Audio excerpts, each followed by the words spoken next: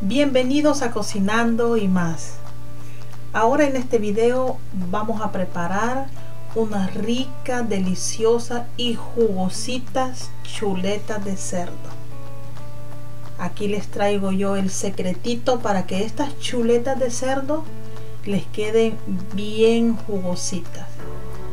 Ya que sabemos que la chuleta de cerdo es una carne bastante seca. Pero con este secretito que yo les traigo, les aseguro que les van a quedar así, jugositas y suavecitas. Quédense porque vamos a comenzar y vamos a ir de, de partes, en pasos. Tengo un galón de agua y vamos a agregar media taza de azúcar, del azúcar que ustedes quieran. Puede ser morena, blanca, media taza también de sal. Ahora lo que vamos a hacer es que vamos a, mover vamos a mezclar muy bien. Recuerden y les repito un galón de agua media taza de sal media taza de azúcar movemos y vamos a agregar ahí en esta fusión de agua vamos a agregar las chuletas. Las vamos a dejar alrededor de unas dos o tres horas en el refrigerador que reposen ahí en esta en esta agua que hemos hecho con azúcar y sal. Les aseguro que no les va a quedar ni salado ni dulce para nada. Si quieren también puedes agregar ajo en polvo cebolla en polvo etcétera ¿verdad? y bien aquí ahora ya pasaron tres horas yo las he sacado déjenme decirles esto no lo grabé porque no quiero hacer largo el video cuando ustedes saquen las chuletas de la, de la fusión de agua, hay que enjuagarlas muy muy bien con agua fría. Las vamos a enjuagar con agua fría y enseguida las vamos a secar con un papel toalla. Las secamos muy muy bien. Yo estas ya las había secado, pero pues les estoy mostrando, ¿verdad? Recuerden de enjuagarlas con agua fría y secarlas. Ahora aquí les muestro lo que yo voy a estar utilizando para marinarlas. Aceite, ajo en polvo, comino también en polvo, vamos a utilizar cebolla en polvo. Y lo que tengo verdad también enseguida esto se llama lemon pepper.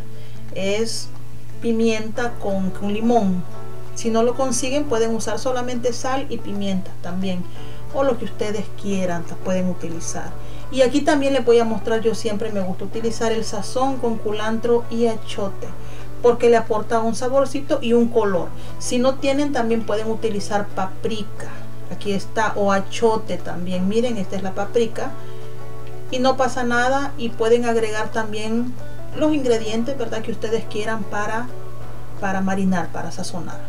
Les voy a estar mostrando dos, dos formas o dos ideas cómo pueden hacer. Bueno, para empezar, aquí hay aceite en spray. Si no tienen este aceite en spray, no importa, pueden utilizar el que ustedes quieran con una brocha, con una mano, con una cuchara, con lo que se les haga más fácil. Les voy a mostrar, esta es la primera pues forma o manera. Le agregamos el spray, el aceite y enseguida comenzamos a agregar todos los ingredientes Déjenme decirles que hay dos grupos de personas, uno que le gusta hacerlo de esta manera, uno por uno, agregándole, ¿verdad? Un lado, después el otro, y pues estamos el otro grupo de personas que nos gusta agregar todos los ingredientes en un recipiente grande, en un bol, como decimos en mi país, en un guacal, ¿verdad? Y hacemos todo, toda la mezcla y después ahí los pues los ponemos ahí a que naden ahí, ¿verdad? Las chuletas y con nuestras manos limpias ahí comenzamos a, a marinar. Pero bueno, déjenme mostrarles, esta es una manera, lo hacemos así de esta manera, como les digo, uno por uno.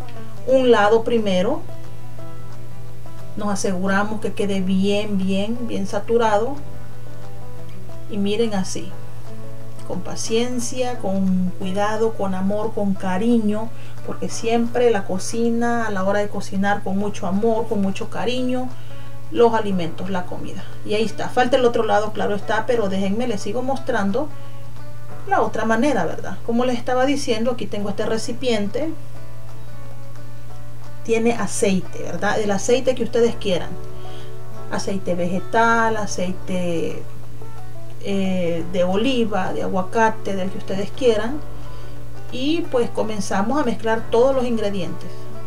Como les dije anteriormente, los ingredientes que ustedes quieran también pueden utilizar.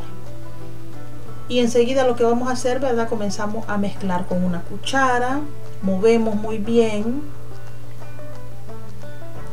Y listo. Ahora lo que vamos a hacer es que vamos a... Yo hice un poquito para enseñarles también, ¿verdad? Pueden hacerlo en un recipiente más grande. El otro lado de las chuletas que le faltaba, ahí vamos a comenzar. Miren con una cuchara, si tienen una brocha, mucho que mejor una brocha o con la misma mano también. Si tienen un recipiente más grande, ahí nomás, ¿verdad? Se dejan caer las chuletas y se comienzan a revolver, a mezclar con la mano limpia, ¿verdad? Recuerden que nuestras manos les da sabor a nuestras comidas. Y luego lo vamos a dejar reposar aproximadamente unas dos horitas ahí, ¿verdad? Con el marinado. Y vamos a la estufa.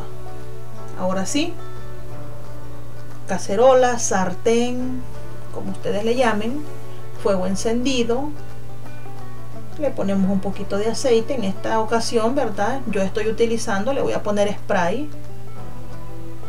Le ponemos un poquito. Y si no tienen una cacerola como la que yo estoy utilizando, no se preocupen. Pueden utilizar la que ustedes quieran, la que tengan ahí a la mano. Pero si tienen una de estas, pues adelante, ¿verdad? Esta me gusta porque, porque le deja, ¿verdad? Así bien bonita marcada las rayitas, como los cuadritos y nosotros buscamos maneras como hacerlo. Y listo. Ahora sí, comenzamos. Agregamos. Ponemos la primera chuleta. Y vamos a dejar, ¿verdad? Unos, ¿qué? Unos 3 minutos. 2, 3 minutos. Y ahora lo voy a girar al otro lado. Esto es para tratar la manera que le queden esas marcas bonitas de la cacerola, de este sartén que yo estoy utilizando. Lo vamos a hacer a un ladito y pues vamos a poner el otro, ¿verdad? Igual. Y a cada lado aproximadamente, dependiendo, ¿verdad? El gruesor que tiene la chuleta. Hay unas que son mucho más gruesas, unas que son más delgadas. Y miren qué bonito, qué belleza, qué chulada de verdad. Que unos 3 minutos a cada lado. 3 yo considero que las que yo estoy utilizando no están muy gruesas, no están muy delgadas. Unos 3 o 4 minutos a cada lado más que suficiente. Fuego medio, ¿verdad? Y miren también así, ¿verdad? Los lados también, a los lados también hay que ponerlo. Para que también a los lados tenga un colorcito bonito, que se cocine todo parejito. Y ahí está. Ahora sí, miren, ya está listo Está perfecta, jugosita esta chuleta. Ahorita van a ver, les voy a mostrar. Anímense, prepárenlo. Y me cuentan. Esto se puede hacer en pollo, en pavo, en toda carne. ¿Ya está listo? Y vamos a lo siguiente. Y ahora sí, aquí viene lo bueno, ¿verdad? Vamos a ver cómo nos ha quedado esta chuleta de cerdo les voy a mostrar ustedes saben que la, carne de cerdo normalmente eh, más la parte de las chuletas son es una carne bastante seca pero con esta fusión de agua que yo les estoy dando les aseguro que nunca más van a volver a comer una chuleta seca. Miren está jugosita de verdad que está suavecita. Miren aquí les voy a mostrar para que vean. Miren de verdad que e, es una maravilla.